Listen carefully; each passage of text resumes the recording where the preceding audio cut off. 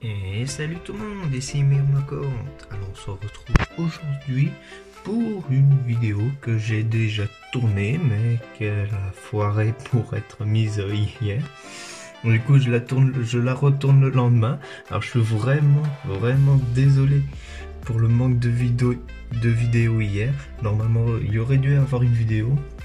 Mais je sais pas ce qui s'est passé, la programmation n'a pas fonctionné, et puis bien sûr la vidéo a été introuvable.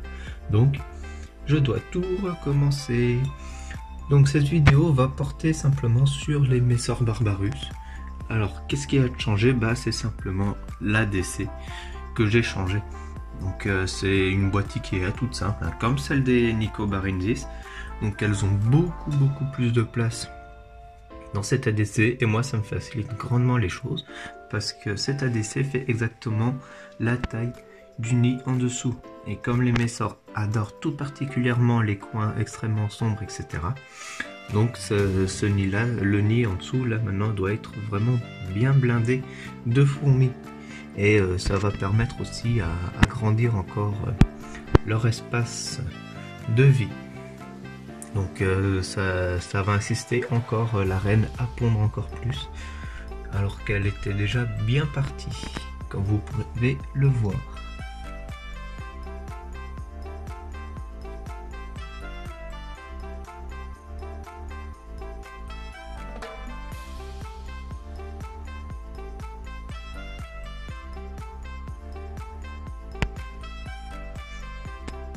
Et encore, là, ce que vous avez vu, c'est juste la première salle, donc la salle du dessus, qui était euh, autrefois euh, l'aire de récolte de ce nid-là, que j'ai rebouché avec une vitre, afin de la transformer en salle pour agrandir encore plus euh, le nombre de l'espace disponible. Donc les fourmis se sont plutôt bien acclimatées assez, rapidement à cette nouvelle aire de chasse. Hein. Je leur ai mis quelques graines euh, pour leur euh, faire découvrir un peu l'air de chasse. Donc c'était surtout des graines de tournesol, comme ici.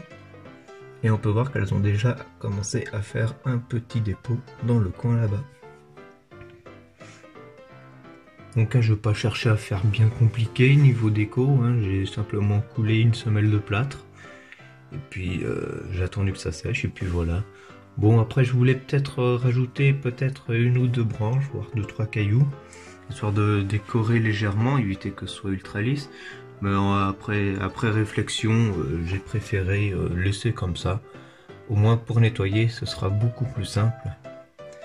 Ça m'évitera de déplacer tout le décor à chaque fois. Donc là on peut observer un petit major petit, gros plutôt. Désolé pour les reflets, je sais pas comment les enlever. Voilà. Donc toujours un abreuvoir, hein, euh, même si les messors euh, ont quand même une humidité de 50% à la surface du nid, euh, on peut quand même leur offrir un petit abreuvoir, comme vous pouvez le voir. Il est grandement apprécié donc ça, ça leur aide à, faire leur pain à fourmis.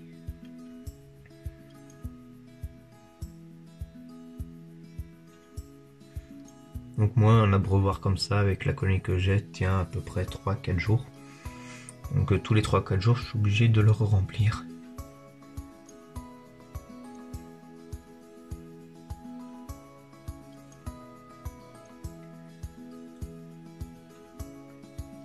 Donc pour le moment, j'ai pas encore eu de sexuer avec cette colonie là. Donc euh, bon, après, je pense que j'en aurai pas avant 2-3 ans. Mais euh, parce que bah, c'est juste une petite colonie qui a que 2 ans pour le moment.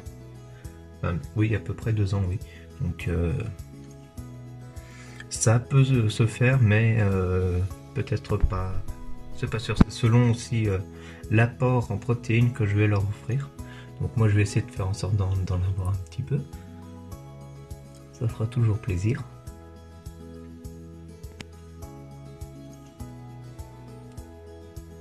Donc j'espère que cette vidéo vous aura plu. J'ai plus qu'à vous dire à la prochaine pour une future vidéo.